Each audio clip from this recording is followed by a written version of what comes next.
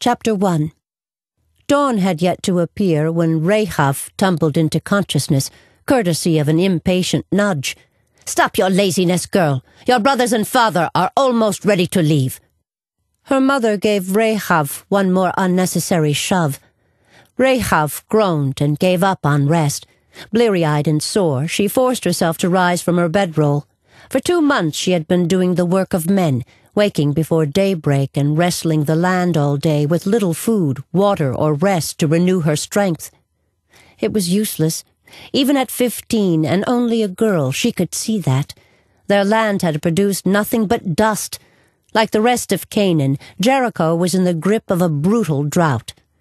Though she knew their efforts to be wasted, every day she pushed herself almost past endurance, because as long as they stayed busy, her Abba had hope. She couldn't bear the thought of his despair. Child, hurry! her mother snapped. Rehav, who had already folded her bedroll and was almost finished dressing, continued her silent preparations at the same pace. She could move no faster if the king's armies were at the door. Her father entered the room, chewing half-heartedly on a piece of stale bread. His face, pale and drawn, glistened with sweat.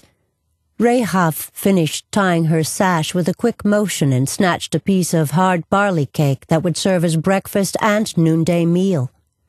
Giving her father a tight hug, she said, Good morning, Abba. He stepped out of her embrace. Let me breathe, Rehav.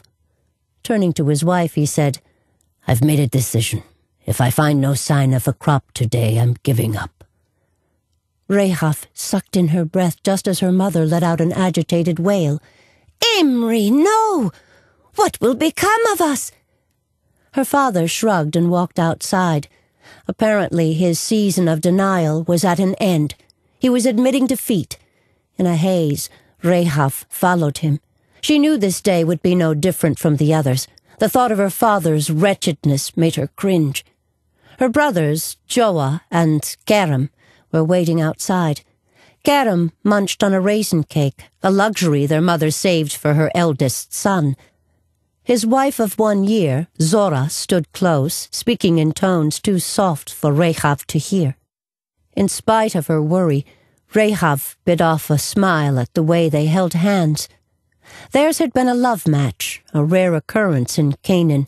Although she teased her elder brother at every opportunity, Rehav's heart melted at the thought of such a marriage. Sometimes in the cover of darkness, when the rest of the family was long asleep, she dreamt of having a husband who would cherish her as her brother did his Zora. Lately, however, her thoughts had been too consumed by worry to leave room for pleasant daydreams. Standing as far off as their tiny garden allowed, Joah, the youngest at fourteen, gazed at nothing. Rehav had not heard him string three words together in as many days.